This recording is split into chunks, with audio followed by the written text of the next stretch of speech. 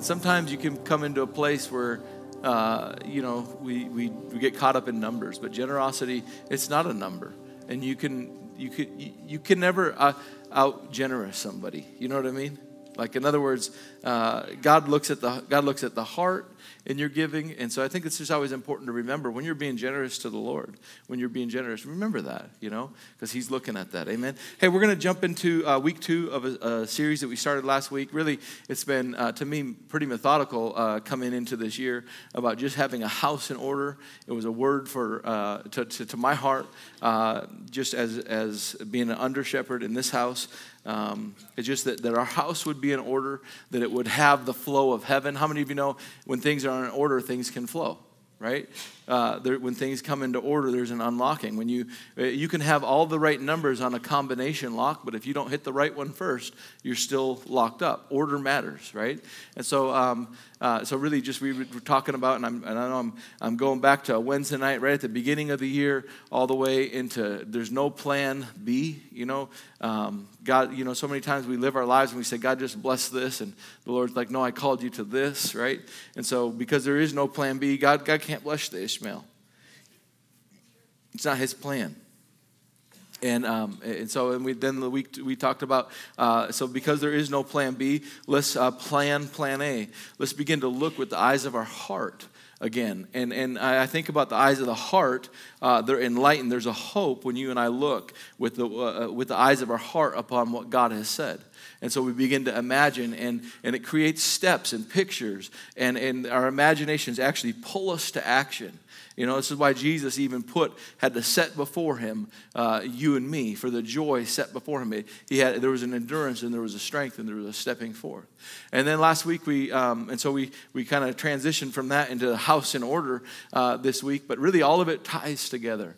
And we started talking about, as for me and my house, we will serve the Lord. And we, we were talking about submit or submission and how that it's so important that we get this, this, this word and not have the context that uh, so many times words carry uh, maybe a history because of how they were interpreted before, or maybe uh, what we, you know, when somebody used the word authority, all we could think of is that teacher that took that ruler and would whack the desk or, you know, whatever it might be. There's just those things. But anything that is contended with, you know, words, there must be some truth in because the enemy doesn't fight over what has no value. And so we were talking about submission uh, and authority is really what we're going to get to today. But talking about submission, we talk, we'll look at James chapter 4. Let's jump there real quick. James chapter 4, 6 and 7. James 4, 6 and 7, it says that he gives grace, gives grace generously, as the scripture said. God opposes the proud, but gives grace to the humble. He's talking about order right here. He's talking about how we order ourselves. So he said, if you want grace, if you want to receive God's portion, if you want to receive God's strength, he said, submit to God, resist the devil, and he'll flee, right?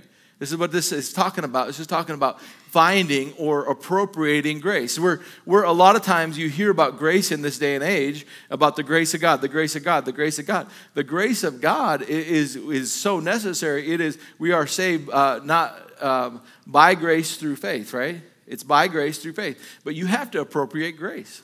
You cannot have grace unless you come under what God says. You can go to Romans chapter 10, 9 and 10. That unless you can believe in your heart and confess with your mouth, Jesus says, Lord, you can't, if unless you do that, you can't be saved. There, there is no other name by which men can be saved except for the name of Jesus Christ. And so, to appropriate grace, you, the way that we appropriate grace, which is His power, His empowerment for this day and age, which we need, we need. How many of you know the Bible says when sin abounds, grace abounds that much more? So, so right now, in a time where there's absolutely a plethora of, of, of that which is contrary to what God says, there's also a, there abounding of grace to you and me if you and I will not in a sense, just pattern our lives after the world, but pattern our lives after the Word. So let's pattern our lives after the Word. This is what we're, so why? So that grace can flow.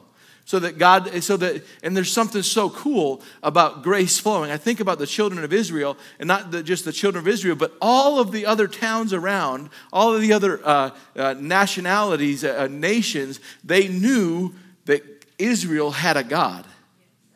They, they recognized God's grace, if you will, upon that people about how He fought for them. How many of you want God to fight for you? How many of you know to get God to fight for you, you need to be on his team? I love that story where Joshua comes out and he sees this angel and he said, Are you on my side or are you on their side? And he said, I'm on neither. I'm on the Lord's side. You better get yourself on his side. So that grace can flow, so that God can fight for you. You want, we want God to fight for us, but the, the key for God, to God fighting for us is for you and me to get on his team. So we said this last week that, that if I come under God, I, I come over Satan. But if I don't come under God, then what I, I come under Satan. So many times we we mention this, like we have this Neapolitan idea, like that there's like, uh, um, you know, I can have God's way, my way, or the devil's way. That, that's false. He says, I set before you, see this all through the word, two choices God's way, life, hot. He said, lukewarm, so that you would know, I'll spew you out of my mouth, so that you would know that you're cold, you're wretched. So that means you're not filled, you're not clothed in glory. Good, good to know. Good to read. Good to listen to and submit ourselves under. So, uh, and I think, um, so anyway, we talked about submission. He said, so submit. Um, and I just wanted to talk about that word again. Uh, and last week, I, I, actually said that that word was used only five times. That word is not used only five times. I actually listened to my message again um, this last, uh, actually this morning. Uh, I listened to it on two times fast. Anybody ever do that? I listen to everything two times fast. Um, on any, I just, I just like, you know, going. I think people talk too slow. You know, I think you got to talk fast, right? Um, so when I talk fast and it's like, I'm like, this is just about right. You know, like Goldilocks and the Three Bears. Anyway, um, and so this morning, I don't know how I got on that, but uh, so what are we talking about?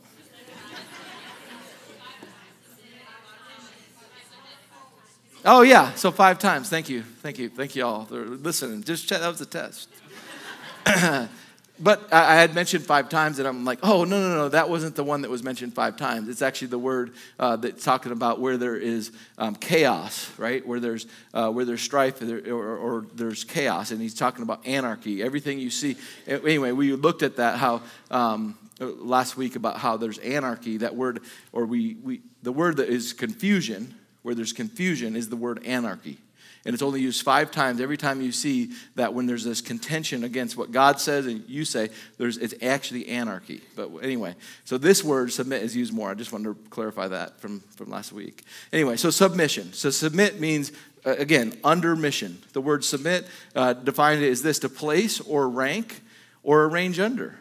So you place or rank or arrange yourself under God. When I don't do that, I'm placing or ranking or arranging myself under or in agreement with the adversary. And so we talked about this. You can't, um, you can't resist what you've yielded to. Again, uh, God over me puts Satan under me. And so um, there is a rank in God's army, and there is a rank in Satan's army. And whether we know it or not, uh, I'm just going to declare it to you this morning that we are in a battle. Ephesians 4, uh, 6 12 talks about we don't wrestle against flesh and blood, but against principalities, against powers, against rulers of, of against mighty powers in the dark world, against evil spirits in heavenly places. Really, he's talking about just different levels, different levels of authority. We, we hit on that last week. I'm not going to take a lot of time a lot of time there this morning. But it's so important that we get we get that that we are under authority now, or that there is a war going on. Now, so many times, and I want to go back to James, and I want to, because um, we're teaching uh, to get somewhere, ultimately talking about authority, but sometimes um, we'll take a passage to make a point, and we'll, and that passage in itself could could um, stand on its own to make the point. And, uh, and that's in James 4. And I wanted to jump down to verse uh, 13 and 14, James 4 13 and 14. And the reason why we don't we don't really recognize submitting to God and uh, you know resisting the devil and he'll flee uh, is because we don't always see the devil in our lives. You know, like we're pretty good. We can do what we want to do and everything's cool, right? And what happens is, is we, uh, we, we the, the mercy of God and His patience with us, um, we're, we're actually self-deceived. we're actually self deceived. It says this it says, Look, look here, you who say, Today or tomorrow, we're going to, this is just pride speaking. Okay? So, but when I, when I walk in pride, I'm actually opposing. The Bible says God resists the proud. Because didn't we just jump to that right before? James 4 6. He resists the proud, but he gives grace to the humble. Here's what the proud say, okay? And I, and I, I want to I wanna hit on this a little bit this morning because I think every person here fits into this, including myself. At, at one time or another, we, we make our plans, we do our, we, we think that, we just think, oh, you know, Okay, he, he, says this today or tomorrow we're going to a certain town and we'll stay there. Look, who, who, who do you say? And we're going to do business there, we're going to make a profit, we're, we, we make all of our plans. Okay, next verse. And he says, How do you know what your life tomorrow will be like? How do you know that what tomorrow is going to hold? Like, we have this idea that we just know. We just know, we know what's right, we know what's wrong, we know what we're going to do tomorrow, we know, we know, we know, we know we're going to do this, we're going to do that, we're going to do that, and I'm doing this, and I'm doing that, and I'm doing this, and I'm doing that. Never, ever asking until we need help with Ishmael. Right? You, you, can you see this here? God, but God resists the proud. He, he, he opposes, but he gives grace to the humble. Part of, part of submitting to God, it goes back to that word submission. To submit means that I'm on a mission that's from God. I'm on a mission from the Lord. You remember the scripture? We're not going to go there this morning, but who of you, after being enlisted, right, in an army, engages himself in civilian things? Oh, this is a radical army of the Lord talk, but we're going to have to get this a little bit back as the church. Because if we're going to walk in authority uh, over sickness, over disease, over we're going to have to be under authority. Why why do I think that I that I can exercise authority and not come under it? That's impossible. That's deceit. And that's why my prayers or your prayers or the church's prayers are often so powerless because we are under no power. The word of God is not a command, it's a suggestion, and so uh, or so we read it. If I want to be exercise power, I'm going to have to come under power. Go back and please put that the verse back up. Again, James chapter 4, uh, verse 14. And he says that, uh, who, who have you th- said, instead you ought to say, if the Lord wills. Your life is like a fog uh, it's here a little while, then it's gone. If you'll, um, I don't think any NLT uh, on this morning, but it, just NIV or I think uh, KJV. But it, you maybe have read it before like this: Your life is a vapor. It's a mist. It's here today and gone tomorrow. It's it, it, that's how it is. It's it's like how do you know what your life will be like tomorrow? Let me read it out of this translation. It says this. Um, no, I don't. I don't have it on in my notes here. But it just says, uh, who are, how, how, today or tomorrow? Like, why do you think that you can make, the, I'm going to go in such and such a city and I'll make this plan? You don't know if your life will be required of you. You don't know. So we plan our lives like they're just like forever when, when they're just but a mist and a vapor. And what I do here and now determines my tomorrow and my forever. I just want to bring this back to etern- eternal minded this morning. All right? Um, let's see here. Let's go to Isaiah 31. I mentioned this this morning. Woe to them, and this is really in line with uh, trusting in yourself and saying, I'm going to do this, I'm going to do that. And this is how we make our plans and trust in ourselves, is when we have big chariots, when we have big bank accounts, when we uh, got the corner job, or when we, you know what I'm saying? We make, this is how we trust and we make plans based upon our own strength. But he says, Woe, the, he's talking to really the children of Israel.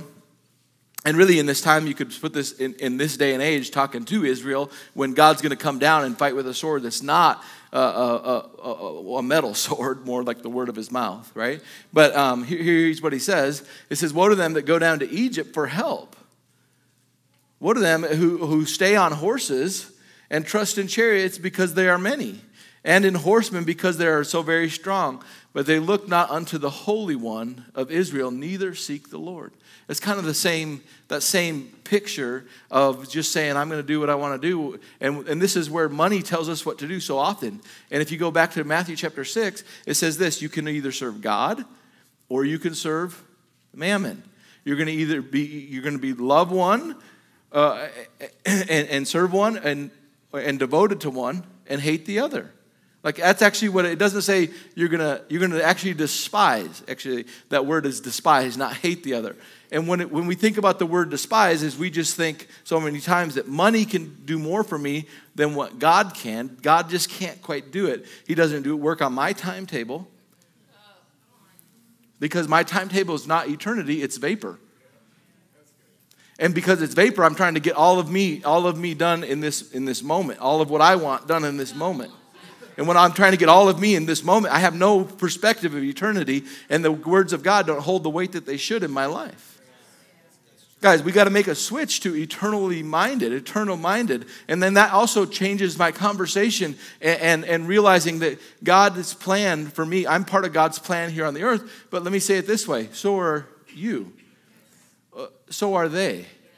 So this is what we're getting to is so we're going to get to the they the ones that are next to you, the ones that are next to me, the ones that I serve under, the ones that I serve over.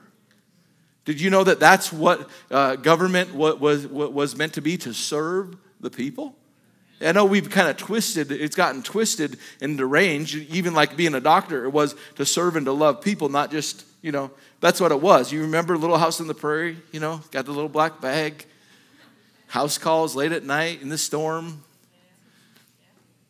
there was about just service, genuine love and service and value. All right, so let's go to so let's go to this uh, Matthew chapter eight, nine through eleven, and and talking about um, just talking about authority. This is the story of the centurion.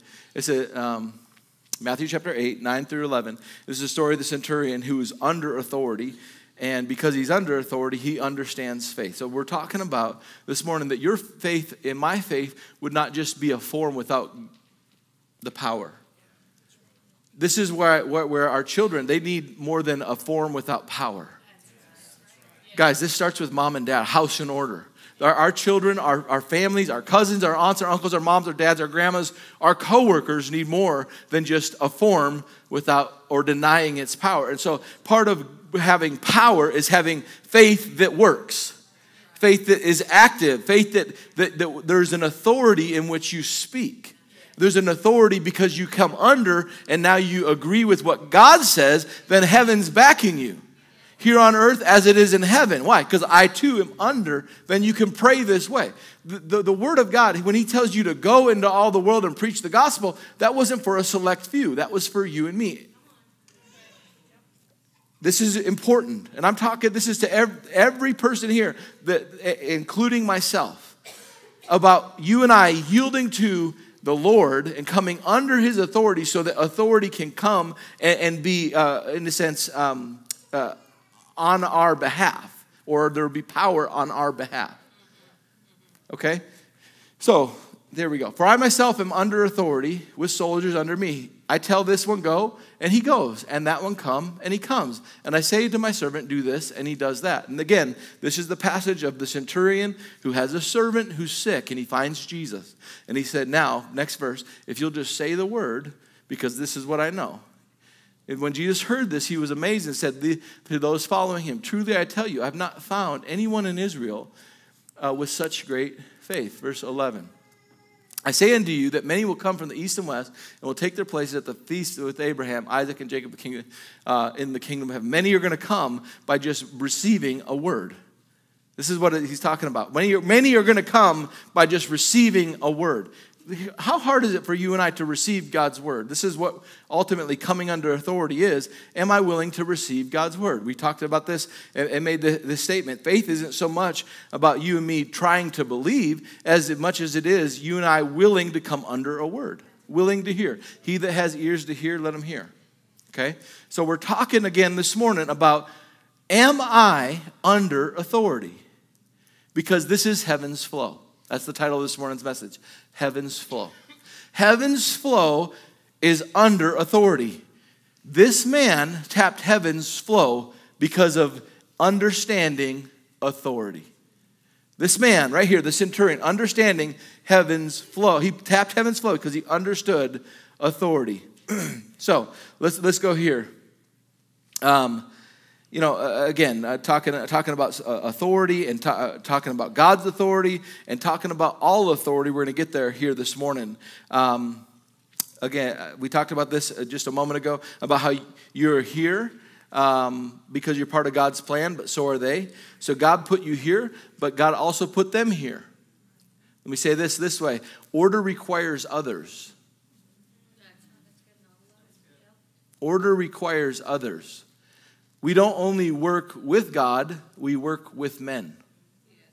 So, this is big for the plan of God, and this is what the centurion understood. He didn't just understand that he was under Caesar. Because a lot of us would just say, well, I just report to the president. But what about reporting to the governor? The, you know, like, like what about reporting to the one that's here? Because we, all of us would be like, yeah, I, I, I know him. How many of you ever name dropped? Come on, be honest. You're like, oh, yeah, I know him. Right? You know somebody that knows somebody, or you met him one time. You don't know him, but you know you're trying to uh, maybe be included in a conversation, or and you're trying to say, "Oh yeah, yeah, that guy, yeah, oh yeah, I met him," or whatever. You, we, we, we want to, we want so many times to be known or to, to report to that, that one. Like right there. I, I can, you might say it this way, well, I, I, I could, I, I, could serve, anyway, I'm not going to get off on, on, on trying to make another analogy. You understand. All right. again, again, order requires others. We don't only work with God, we work with men. So God put you here, but God also put them here. So I wonder if you were to look to your left or your right, you might not really have your boss here. Well, you do. but, but, but you know what I'm saying. Like most people don't have, you're sitting in church, you're not sitting next to your boss. Like you're just sitting next to a peer, right? where everything's cool because like most people sit next to people they like and they agree with and they don't have to be told what to do. This is why a lot of times parents and kids even in church don't want they want to sit next to because they want to be out on their own. You know and we want them to get out on their own. No i don't mean that. That's we're to train our children to transfer their dependence. Absolutely um, but you, you, so many times even in church we don't recognize but like let's think of this i want you to just imagine right now about rank just ranks Somebody here is, is, is over you in, in the Lord. Did you know there's elders as the way God sees it in the church? They have rank. And the Bible talks about respecting and honor those.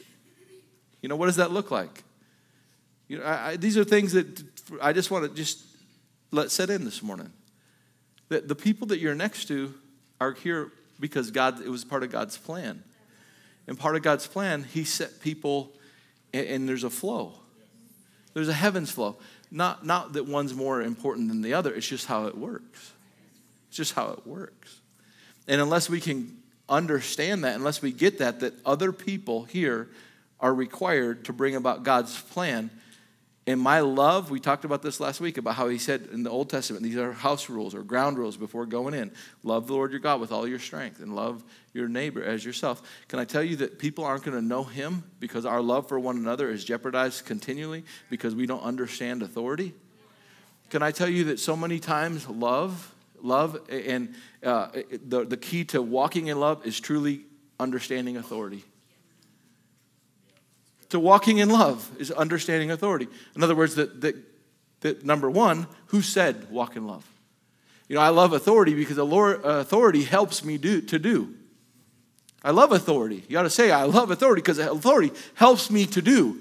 It's amazing how, when, uh, as a kid, you know, if mom and dad are, are, are standing there or sitting there at the kitchen table and you have your trash that you would normally just throw in the trash can and it would hit the wall and bounce off and onto the floor, right? But because mom and dad are there, you, if that happens, you go over there and pick it up and put it back.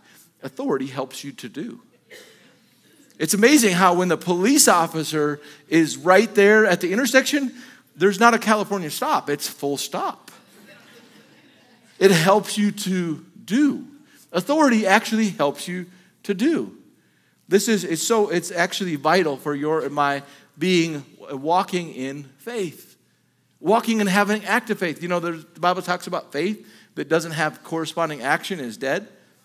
Can I tell you that having authority in your my life and having spiritual authority helps me to do so that when the word of God comes from a, a, a, general or a commander or whatever, and they speak, and I receive it as one that is in authority, it actually helps me to do and make an adjustment in my life to walk in agreement with what God said so that I can experience His goodness.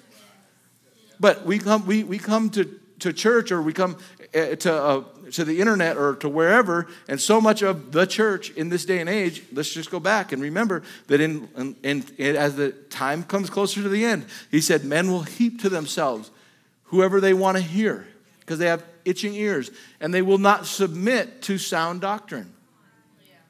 But instead, listen to only what they want to hear. Can I tell you, we're in that time and in that day and in that age Anybody know what I'm talking about? I don't like, I don't know about that. Uh, I don't know about that. Uh, I don't know about that. Because I don't, I don't want to hear that. I don't want to hear that. The reality is, we probably shouldn't be listening to a hundred other voices. We don't want to hear this, but do we, where, should I, where should I be feeding, Lord? Where are you directing me? Because those people that God has given authority over me so that heaven could flow into me and through me. Every voice is not for me. Like, let's just think about this in the army. If I'm a pilot, okay, and I'm listening, and I'm, I'm supposed to be listening to this direction, but I'm listening to the tank driver, like the tank driver, like the general that is handling the tank drivers. And I'm taking my, well, I want you, what I want you to do is I want you to come along the ground here, you know, and it's like, wait a minute, I thought, okay, uh, I'm getting mis, miscommunication. And, and when I have miscommunication, uh, where there's not clear communication, there's no application. And then I know, because there's no application, then I'm not a doer of the word. And so I'm not making any adjustments in my life. And, and the faith that I claim is dead. And so there's actually no power at all in what I say I believe because all I am doing is listening to something that makes me feel good all the time. I want to listen to something that encourages me. I want to listen to something for hope. I want to listen to something for depression. I want to listen. Can I tell you that a lot of depression would be solved if you just listen to and put to work the pastor's word in your life? Your, let me say it this way, your general or your, your admiral or whatever you want to, or you know, eh, captain Okay, okay, Lieutenant, like that way where we would put to work and that we should, all, all authorities from God, we're going to get to this here in a moment, that I, there would be a move because I'm not looking to every other word. There's a clear order. All right, we're going to meet here at this time, at this, there, there's just a clarity that comes because I'm not uh, on every other voice. Because you'll find that when, when, If you're the tank driver and you kind of catch channels and you turn channels to the, man, we're always down here in the dust. I want to fly in the clouds. Oh, yeah, me too. Why don't you see how that works with that tank? Oh, you're trained for that. That's not how, I'm just talking about how did God set you?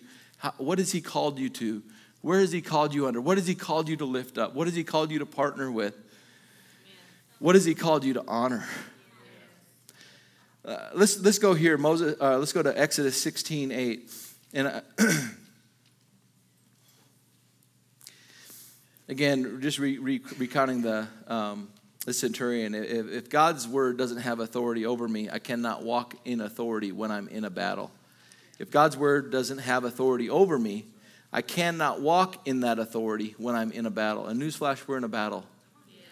So don't, don't call upon, you, all you're going to be calling upon, you're going to be calling, which is, is great, is his mercy. It's great. But the Bible says the just are to live by faith.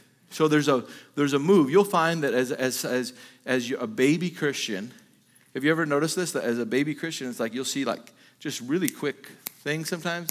You're like, oh, you know, here I am, this, you know, dad, and somebody's given them all that. You know, I'm a, I'm a dad in the faith, right? And all the, these new kids are getting free this and this, and just like God's moving for them. The mercy of God is just at work. They don't know how it all works. But as you mature, you have to apply the word. So apply the word and, and become a doer of the word. So, anyway, uh, let's go back to Exodus chapter 16. And this is where um, the children of Israel are murmuring and complaining, which is pretty common. Can I tell you, the children of Israel, this is just an example to us, and this is often where we are at a lot. Uh, Moses also said, uh, You will know that it was the Lord when he gives you meat to eat. They're complaining about not having anything to eat. You let us out here to die.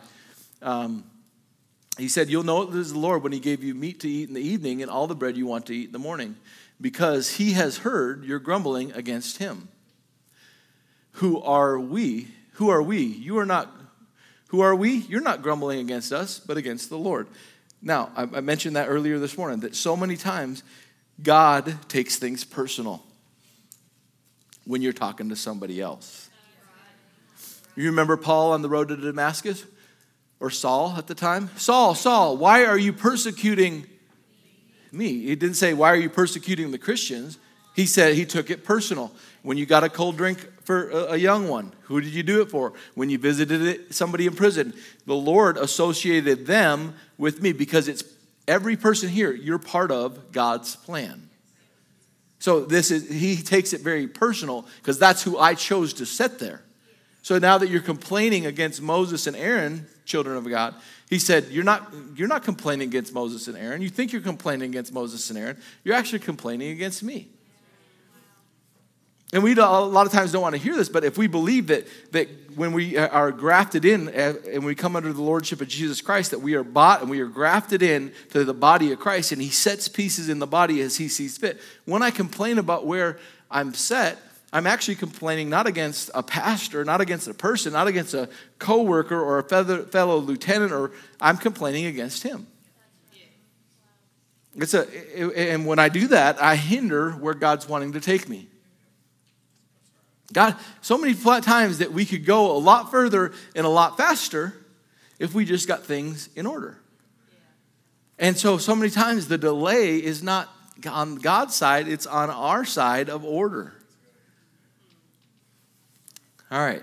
So you see that again. Uh, I love this verse, uh, 1 Samuel 2:30. It says, "Those who honor me, I will honor, and those who lightly esteem me, he said, will be lightly esteemed." You, we, how, how am I honoring the Lord? Well, let me say it this way: How am I honoring you? How am I honoring you? How am I honoring the people? And again, you understand that when God puts somebody over somebody, it is to serve them. Moses was there to serve the people.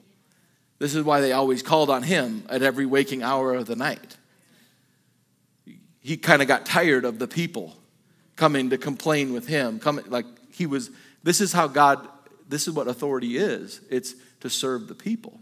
When you look at Ephesians chapter 4 when he sets gifts in the body to equip to serve the people so that you'd be equipped for the works of ministry, pastor, teacher, prophet, evangelist, apostle. What are those for? To serve. To serve, to equip. And, and so many times, what we've had is we have this wrong uh, idea of authority because of what the way, the way that it's been um, twisted or manipulated in, in this day and age.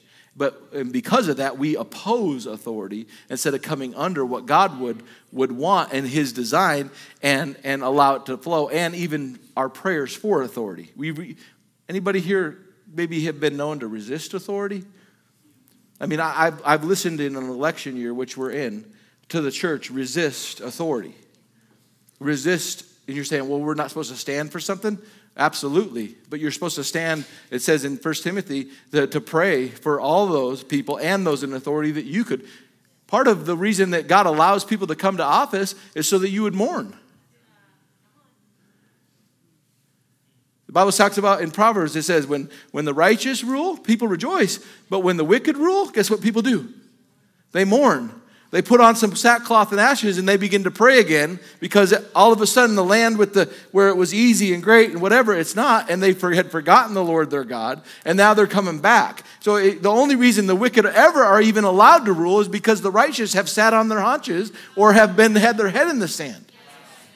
So you wonder, well, that's not God's plan. It kind of is God's plan because y'all are asleep. Church, this is the wake up. So it's actually the mercy of God that a wicked person would rule. You're like, no way, that, that's crazy. That, like, uh, well, wake up.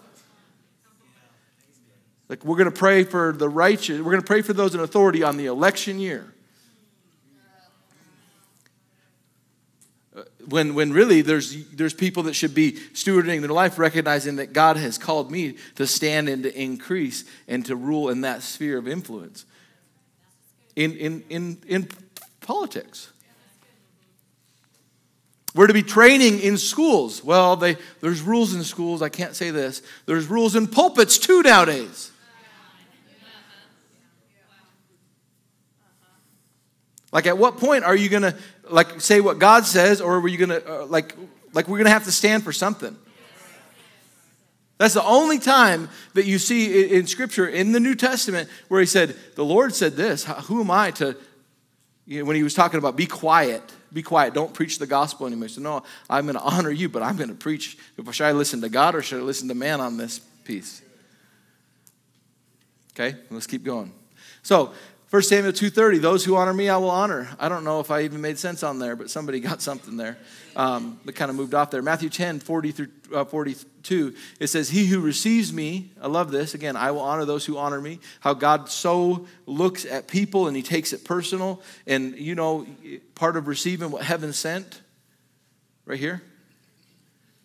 Like, did you know that heaven could be right there next to you? But that's just little Joe. That's just that's just that person that's really frustrating. You know, but did you know they're assigned and they're part of God's plan here on the earth? Did you know heaven could be in them for you, but because I don't receive them as heaven sent, I hinder heaven's flow? He says this, he says anyone who welcomes uh, welcome anyone who welcomes you welcomes me. And anyone who welcomes me welcomes the one who sent me. It's pretty powerful, like welcoming Jesus. If you welcome, like you're welcoming Jesus. When you welcome, when they welcome you, you're actually like you have Jesus at your disposal. This sounds like authority, doesn't it? It sounds like a flow. It sounds like if if I'm sent by God, when you receive me, you receive Jesus, you receive God. So all of that is at your disposal. And he goes on to say, whoever welcomes a prophet, this is the, the exact same statement, but just said a different way. Whoever welcomes a prophet will receive a prophet's reward. In other words, if you see and you say that's a prophet of God, that's the one that sent to speak the word of God, guess what you're going to receive? A word from God. Uh, I, I, was talking, I had, I was talking probably three different times in the, in the last little bit, um, in the last two weeks. I was in a conversation with different individuals. it happened three times. And we had um, Brother Marty Blackwelder here at the beginning of the year. And for us, and we've made this statement many times, as we really believe he just acts as one that carries the word of the Lord to this house. Have you heard that before? Okay. And so he'll come a day early and just come and pray and just say, Lord, what are you saying? Not that I'm going to give a prophecy every time, but just, hey, here's a on time word. And uh, and I, I, I, there's three different individuals that t- talked to me about saying, well, he was here, and so we knew we just knew we were going to hear a word from the Lord. And so, guess what they heard? That's right. But you can sit in the same seat every Sunday in the place that God sets you to hear a word and miss it every time because you don't hear it And so the answer that you and I need, God sent. It was heaven sent. But it was just missed. It was missed because of how we received it. It was missed because of how I received it. Like, who's talking to me? Lord, are you talking to me? Oh, that's just, he's just saying that because of that. Like, who's talking? Where did God set me? God, where did God set me? This is why when we, we the Bible teaches very clearly that He sets people. And he says, Blessed is he that's planted in the house of the Lord. Planted. Not, tra- not, not, not like in a container, but planted. He said that he's not going to see when the heat comes. He's going to be by a river. He's going to be flourishing. He's going to be able to give shade. He's going to be able to give fruit. He's going to be able to be, be a blessing to many, many people. Glory to God. That's his plan. And it's not about this, um, this power trip. It's understanding authority in, in that which is, is serving. But you know what? Submitting to authority means oftentimes I won't agree. I don't know about you, but like when, when, when we looked last week at, at look when Joshua said, As for me and my house, we will serve the Lord, he said, Why don't you consider if serving the Lord seems agreeable to you? Or if it said you think of it as being hard or burdensome or annoying. He said, Make a decision, but as for me and my house, we're going to serve the Lord. Did you know that the only reason uh, that he had to bring that up is because God's words, oftentimes for us, will be hard, but we're going to have to make a decision. That's hard, but that's right. That's hard. That's hard. Forgive. You don't know. I, but you said, that's hard, but that's right. Thank you for the love of God that's in me that it's about choice of will, not my strength. That thank you, Lord, that greater is He that. That's hard, but that's right. When He talks about giving, that, that's hard, but, but that's right.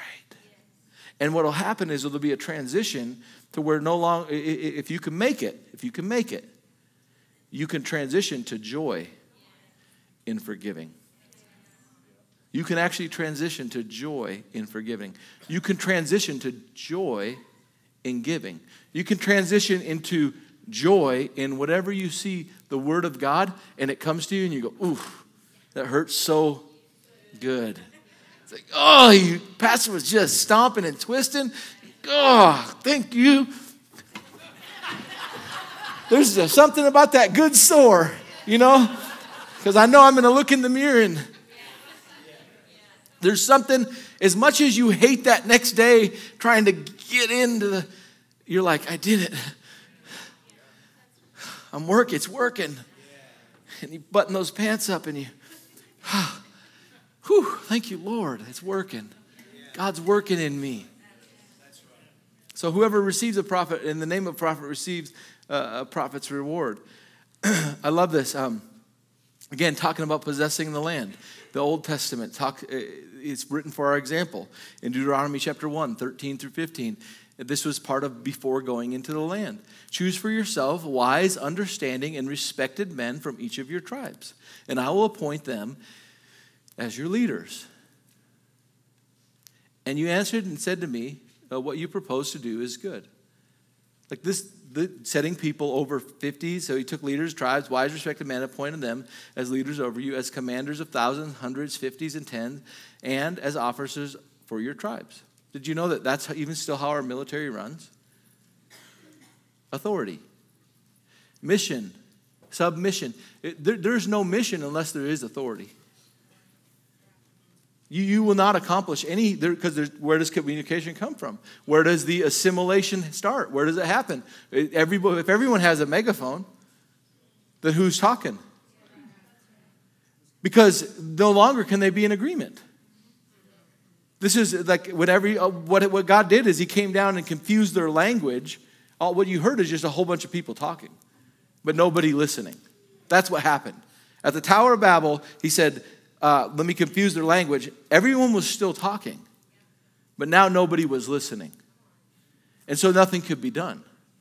So, part of uh, bringing about the plan of God here on this earth is truly in bringing about His mission. And every church assembly is assembled to do something in the community. This is the strength of a local church. Is to there, there's an assignment on a local church that is not just out of a creative, like, oh, well, that pastor has great vision. No, it's what is God wanting to do here? What is God wanting to do there? And, and what am I to contribute there?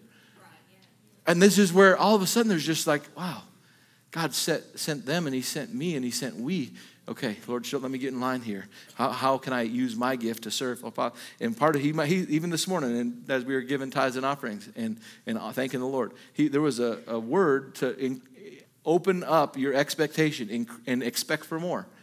That was a word, and you could miss it and you could just not do that, and you would be out of line. You'd be out of line, and you'd be affecting the whole. No, it's that serious out of line. I'm not, I'm not increasing my expectation to expect more, to believe bigger, to get God involved. So, and you're out of line. Anarchy is actually what this is with the Lord. Okay? So now let's keep going here. Um, so you, they, they appointed leaders. So that was key to possessing the land. Appointing leaders was key to possessing the land. You know, it was interesting, um, real recently, um, and I, am just kind of talking candid here this morning. Uh, just this is, I'm really enjoying this morning personally, um, even though I have sweaty pits, right? Um, I still get that nervous feel like playing basketball. You know, like I, I remember playing in college and playing in high school. I don't care if you practice and you're playing a team that is at 500, right? You still have that those butterflies, and I think that's a righteous thing. I think it's a right thing. Um, but anyway, just talking about um, uh, part of the key to possessing the promised land was appointing leaders. And you'll find that in this passage, this is talking about how from those tribes they appointed, and then they also sent people into the land from the 12 tribes, and you have Joshua and Caleb were the two that came. Okay, but part of the key to possessing the land was having leaders. And um, and just recently in here uh, at, the, at, this, at this church, um, the Lord had been dealing with my heart um, probably for the last year and a half uh, about uh, establishing leadership in this church.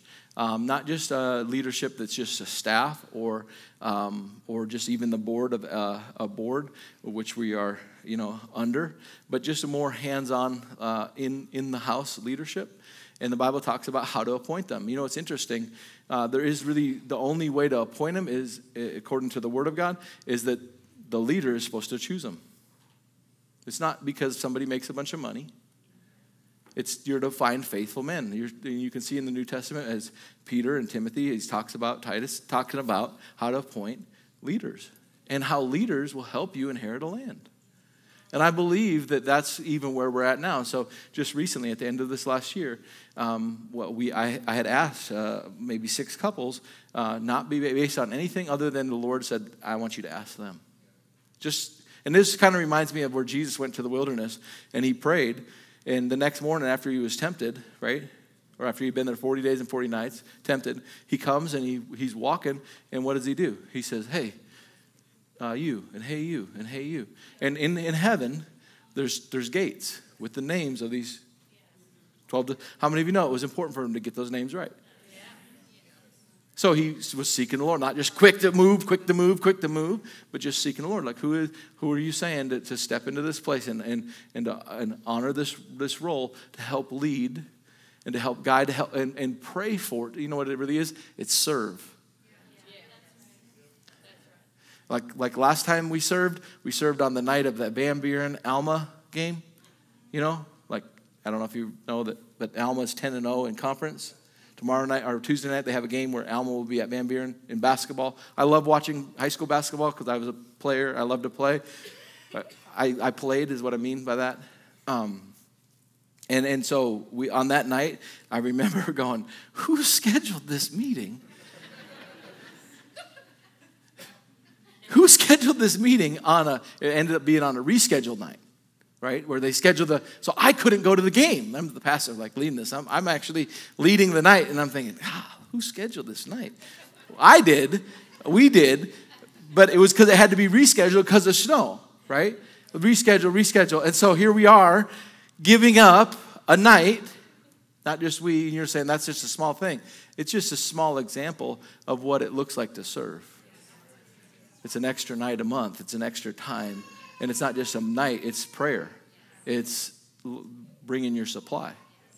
Anyway, and so we, ha- we have that, and uh, one, one of these days we'll uh, put the, bring them before the church here uh, as in this coming little bit um, and just, you know, show you who they are. Um, And I, I believe it's a special thing. And it's not a, it's not a pomp thing. It's just uh, faithful men who have their houses in order, lead their families well, husband of one wife, not given to drink, have their finances in order, serve well in the house of the Lord. These matter. And the Bible says this that he that desires to, to do that desires a good thing. So it's good to desire that. And be patient. If the Lord, if the, the Lord's plan for you, then be patient and let your name be called. But don't just try to jump ship to go find a ranking somewhere else. Because you're impatient. Because you know what you get then? Start over. You don't get to pass the test. So then you get to take it again. All right, here we go. So First Chronicles 12 33, um, and, and, this is talking about David, right, and David's mighty men. I think it's interesting when we think about David, um, a man after God's own heart. We'll look at that here in a moment. But here is uh, of this name, of Zebulun, uh, such as went forth to battle, expert in war, with all instruments of war, 50,000. So from that tribe, from that, that man, uh, there was 50,000 and these 50,000 could do what? They could keep rank. Did you know that that's pretty big deal? That's a huge deal. That, that, that, that was written about this tribe, that this 50,000 could keep rank. They knew who, who, how to go up the chain of command. They knew how to, they, they knew this. They, and, and they were not of a what? Double heart. Verse 38 of the same chapter, all these men of war that could, uh, that could keep rank came with a perfect heart to Hebron to make David king over all of Israel, and all the rest also of Israel were of one heart to make David king. So, this is the, the strengthening of David's armies, and there was one heart, one king, and they could keep rank. This ultimately is just saying, Lord, what are you saying? Coming underneath of. And David, it's a man after God's own heart. We, we think about this, and let me just reiterate this Jesus was subject to rank. Did you know that? That Jesus was subject to rank? Jesus didn't do just whatever he wanted. He was under the Lord's command. In 1 Corinthians 15, he tells us the same thing. He couldn't just come out of underneath what God said. But also in, in the Gospels, he said, I only do what I hear the Father say or I see him do. But here, uh, David, a man after God's own heart. David, a man after God's own heart. When you think about it, he was a man of war. He couldn't build the temple because why? He was a man of war.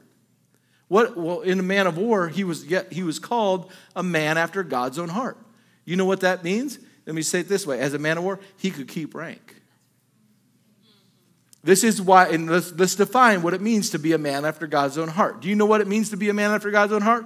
Are you a man after God's own heart? Are you a woman after man or God's own heart? You can be. Here, let me define it. Acts 13, 22. Removing Saul, he had made David their king. God testified concerning him. I found David son of Jesse, a man after my own heart.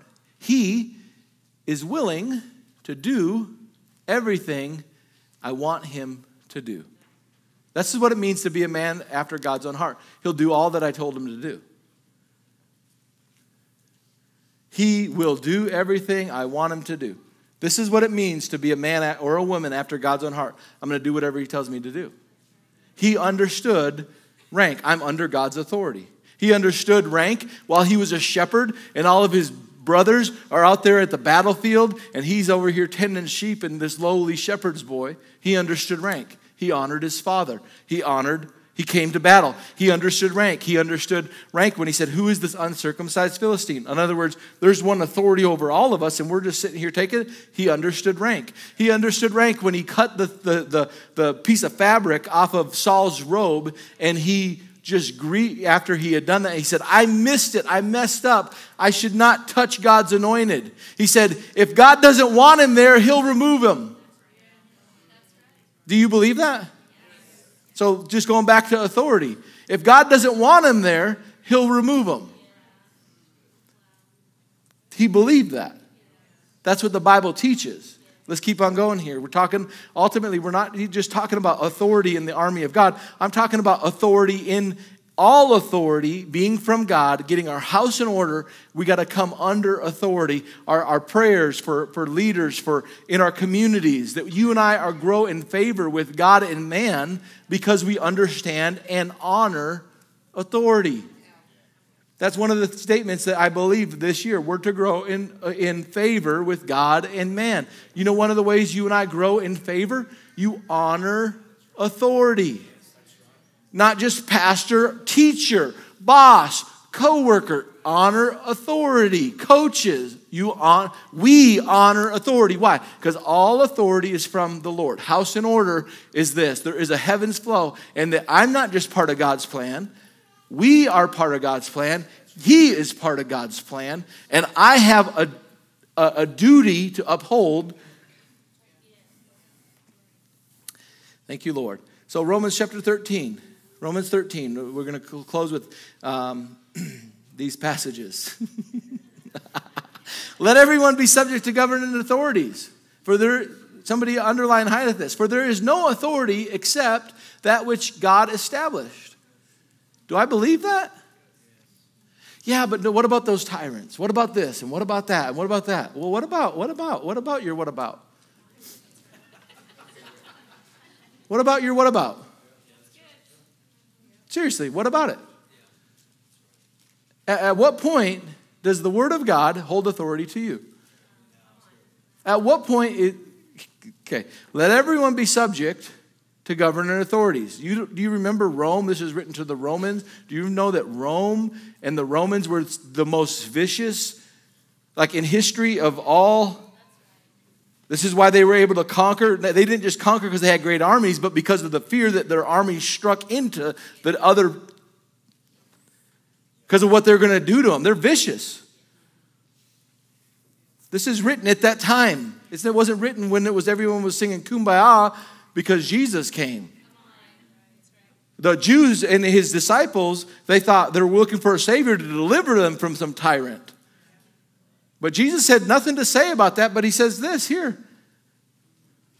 Through Paul, he says, Let everyone be subject to governing authorities, for there's no authority except for that which is from God or which God established. The authorities that exist have been established by God. Consequently, whoever rebels against the authority is rebelling against what God has instituted or against me. We talked about that. Why, Saul, Saul, why are you persecuting? You're rebelling against him and those who do so will bring punishment upon themselves. Can I tell you that a part of the reason our children don't serve the Lord oftentimes is because we don't have a Lord? What I mean by that is this, maybe bring greater clarity to that statement. No one's telling us what to do fully, unless it seems right to us. And so we teach our kids to decide what they think instead of transfer their dependence. We're to be dependents and depend on the Lord. But I don't need to depend on the Lord because my money tells me I can do this and I can make this plan to do this and I can go do that. And you know what? Look at them over here. They're doing fine with that. You know what? Let's just do this and we're going to go do our own thing. I'm, this is this message this morning and yesterday. It's not like, hey, everybody, let's get all excited and run around because you know men are giving to your, your account. This is called some things in order so that heaven can flow, and I come under authority so heaven's authority can be in my life, in my prayers, and flowing through me. Coming under, coming under.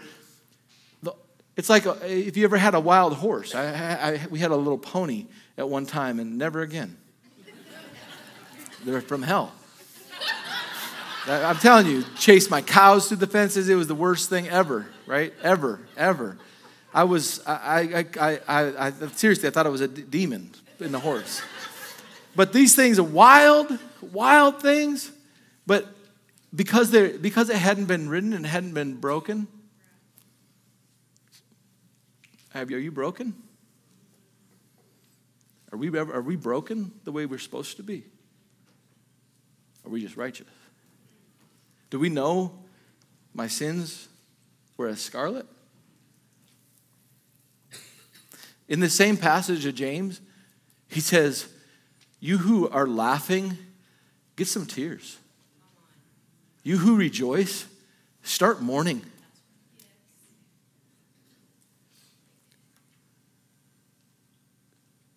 Be broken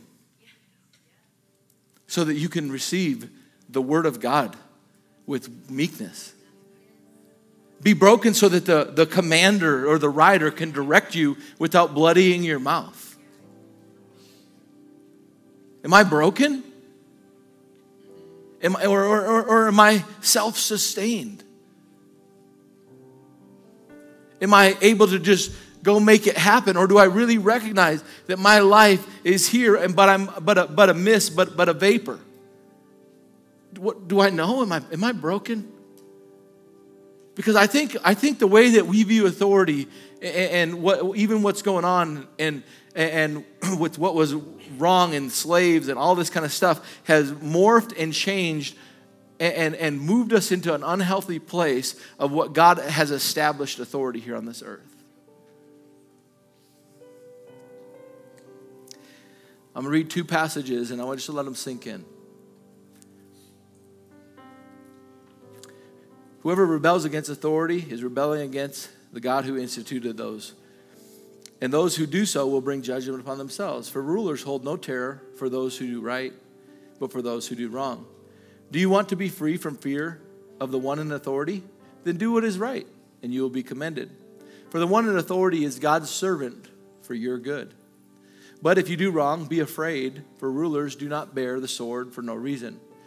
They're, they are God's servants, agents of wrath, to bring punishment on the wrongdoer. Therefore, it is necessary to submit to the authorities, not only because of possible punishment, but also as a matter of conscience. Your conscience. You ever violate your conscience? When you violate authority, you're violating your conscience. When you violate authority, what's happened is you are able to disregard the check can I tell you, there's oftentimes the Lord will come to you and I with a check, but because we disregarded the check here, we disregard that check there. It's that of authority, it's that of God. It's that of God. Didn't, didn't he say, when you persecuted them, you persecuted me? When you disregard authority and you disregard conscience on that, who are you disregarding? We don't recognize that as that, but that's what it is. We do what we think. And I'm talking, I'm talking to myself here. I'm talking to corn in the national forest. I've never done that, except for to investigate what is deer were there. But it's illegal. But I justified it. I'm just feeding them. Who are they to tell me? Never shot a deer over corn. Thank God because I would have said it and I'd probably be in jail. I'm not good at keeping secrets, y'all. at all. Talking to me. I'm talking to we. I need authority. Not only because of possible punishment, but also a matter of conscience. This is also why you pay taxes for the authorities are God's servants who give their full time to governing. Give to everyone to what you owe them. If you owe them taxes, pay taxes. Revenue, revenue. If respect, respect. Honor to honor. Let no debt remain outstanding. I'm going to finish reading through. Now let me let me jump to 1 Timothy chapter 2, 1 through 4. First of all, then, I urge you to pray for those in authority. Pray.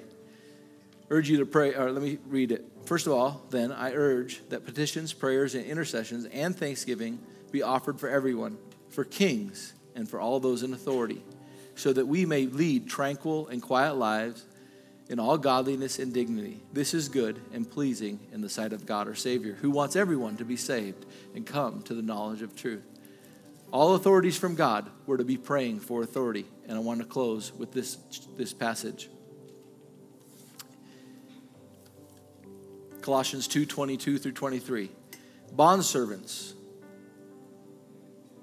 We hear this word stewards. I don't know what translation it says up there. Um, it says, Obey in all things, all things, your master according to the flesh, not with eye service as men pleasers, but in sincerity of heart, fearing God.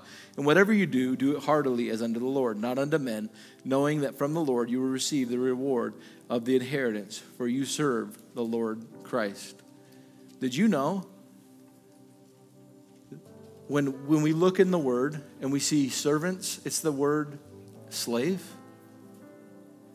In this day and age, and what I had men- mentioned a moment ago, because of the abuse of authority and because of slavery, which is absolutely terrible the way that, that this was instituted, did you know in this time, slavery was very much a thing? And it, had, it wasn't based on color of skin. It wasn't based on color of skin. A lot of it was based on how you were born. And you had the opportunity to serve the Lord. This is what he's saying to serve the Lord. Because sometimes we're born into things that we wish we could have been born a different way. We wish we could have had this, we could have had that. Can I tell you that God is not unjust, but He is faithful to always bring you reward? And though you're down here on this earth with an eternal perspective, how you serve and as you serve unto the Lord, it'll change your eternal status. You have, and I have an opportunity to serve. He's talking to slaves here, not just the color of a skin. He's talking to slaves. Serve well. And he said, if you don't view them well, you won't serve well. That's in the parable of the talents. And so, um, 1 Peter 2 11 through 21. Beloved, I beg you, as a sojourner, sojourner and pilgrim, he said, um, abstain from fleshly lusts which war against your soul. Have your conduct honorable among the Gentiles. And then they will speak against you. Uh, then, when they speak against you as evildoers, that um, they may be or they may, by your good works which are observed, glorify God in the day of your visitation. Therefore, submit yourselves to every ordinance, ordinance of man for the Lord's sake, whether to the king supreme or to governors, as to those who are sent by him for, for the punishment of evildoers and for the praise of those who do good. For this is the will of God, that by doing, by doing good, you may put to silence the ignorance of foolish men. As free yet not using liberty as a cloak for vice, but as slaves or bondservants of God, honor all people, love the brotherhood, fear God, and honor the king. Servants, slaves, be submissive to your masters. I, if you were to look that up, it's, it's slaves, masters. We, we, we, we, we read servants. And when we do that, we take away authority. we take away authority when we're just a servant. I'm not a slave. I take away the authority. You've been bought with the price. What does that sound like? You were bought. Did, did you know the gospel is actually a slavery? But you have a good master. That's actually what it is. You're not your own. You've been bought with a price. You're to glorify God in your body, which is His. So when we get to heaven, it's, everyone's not just going to be running around doing whatever they want to do. They will very clearly be under authority. And because you are able to handle authority, you're able to lead more people. Be submissive to your masters with all fear, not only to the good and the gentle, but also to the harsh. Oh, come on but also to the harsh, for this is commendable. If because of conscience towards God, one endures grief and suffering wrongly, for what credit is it if when you are beaten, it's for your faults and you take it patiently? But when you do good and you suffer, if you take it patiently, this is commendable before God. This is, sounds even like martyrdom, doesn't it? You're standing for righteousness, but you're, you're willing to stand, like Stephen. For to this you were called, because Christ also suffered for us, leaving, leaving us an example that you should follow in his footsteps. Be submissive. I got a servant, I got a master. I've been bought with a price. Authority. If you and I want the flow of heaven in our lives, we're going to have to understand authority and where I'm out of line in my house, where I've been out of line in my conversation, where I've been disregarding coaches and teachers and anyone in authority, I need to get that in line because that's what the Lord's saying. I get that in line, what you'll find is that even my children will come under. As for me and my house, we will serve we will come under the command of the Lord. I believe that's what God's wanting to do now more than ever before in this day and age. He's being very clear and concise with saying, hey, come in line, come under authority. It's the strong place, it's the safe place, it's where heaven flows from, from you and to you, under authority. Get under authority. Get under authority. If you're in this house and you're not a part of and you're not coming underneath where God has set you, I'll just say it this way come under authority. This is not about trying to be like, oh, I'm your pastor. I'm talking about receiving what God designed you to have and to hold in this day and in this hour. And even to say that, even to say that as, as a man standing up here in this office, okay, as a pastor, that is a that is a only by obedience to say. It's only by obedience to even to suppose that you would say or to stand or to communicate that. It's only because of under authority. That's it. And as you do, and you receive the word of God as, as it is Him speaking to you, and your expectation for God to move in your life, He brings you a word, and you can agree with that. Father, you said this. You set me here. You, according to Jeremiah three fifteen, you said you'd give me pastors according to your heart, who would lead and feed me wisdom and understanding. Oh, thank you, Father, that my house is built by wisdom because you're giving me words straight from you, straight from you, not from a man, but from Him. And when you make that demand, even when you make that demand, what comes out of these lips is completely different. I'm not even just talking about how you hear it, I'm talking about uh, an anointing to flow.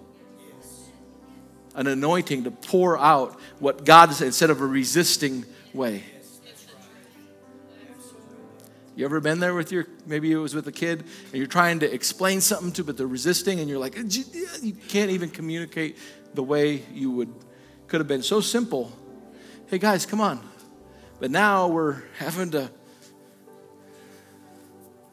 And we were just supposed to go over here so we could enjoy this. Man, let's do that. Amen. Why don't we stand this morning? Thank you, Lord. Thank you, Lord.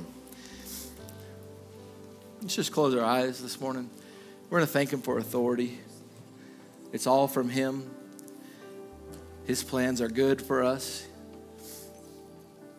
You got to believe that, or you can't receive. You'll resist. You'll resist His word, not when you don't know it's for your good. Father, this morning we just say thank you. Thank you for authority. Just tell Him, thank you for authority. All of your authority. Lord, all those that you've placed me under. Lord, those that you've placed me over. Lord, teach me to serve. Teach me to submit where I need to submit and to, to lay myself down. Both places is me laying myself down. Lord, show us how to serve as unto you. Lord, we just come under the authority of your word this morning, every word that you've spoken, every word that you've said to us. And we purpose in our hearts to be a doer of your word, not a hearer only, to make the adjustments that we need to make so that heaven can flow in our lives. Lord, we thank you that as we come under your authority, just as just as Cornelius came under and was under authority, he understood authority, that heaven heaven's flow was open to him. Thank you for your heaven's flow being open to these people Father, in their finances, in their, in their health, uh, all, all through, Father, just coming into agreement with you, just a strength that you have the right to command me. You can also command all of the other things. And so we thank you for it. We thank you for it in Jesus' name. Amen. If you're here today, the, this is the word of authority that is this that there is no man, no name on earth which men can be saved except for the name of Jesus Christ. No other name. Not just in earth, in heaven or earth that man can be saved, and that's Jesus. If you don't know where you'd spend eternity, if your life was required of you today, you got to give your life to Christ. I want you to lift your hand right now, right where you're at. Just be bold. If you don't know Jesus as your Lord and Savior, I want you to lift your hand. Thank you, Lord. Is there anybody here? I'm going to wait just one more time. Anybody here at all? So this is a, a, tra- a different change here. Uh, and I, I, rather than asking you, I'm going to now commission you. It's your turn to do the asking. It's your turn to do the asking. The reality is, when we come into this house of the Lord, the majority of the house should be saved. Where people don't know Christ is out the, beyond these four walls. So now I'm commissioning you. If you know Christ and He is your Savior and He's your Lord, here's what I'm asking you Will you? Is there anyone here that will ask somebody? I want to ask you for a show of hands. Is there anyone here who knows the Lord? and will do what the Lord has commissioned them to do and to go into all the world and preach the gospel and ask someone else if they know Christ this next week. Is there anyone here, by a show of hands, was there anyone here that will ask somebody this week of where they will spend eternity? By the show of your hands, be strong about your hand, not bashful, because I'm going to ask you next Sunday. Because you know what we're going to see? We're going to see salvations because right here we have an army. Father, in the name of Jesus, as our hands lifted high to you, we just ask you to direct our steps this week, to show love, to encounter those you've prepared. Father, to be a waterer, to be a planter, to reap a harvest. Lord, I thank you for that understanding that one plants, one waters, you bring the increase but we're just obedient. We'll go and carry the message of your son Jesus for your glory. In Jesus' name. Amen, amen, amen. I'm looking forward to testimonies and goodness. We're going to go beyond these four walls with the message of Christ right here, preaching Jesus everyone, everywhere, and tomorrow and the next day and the next day. Amen. God bless you. We'll see you guys Wednesday night at the Valentine's in Alma. Text if you haven't yet. Respond. 551 5111 Valentine.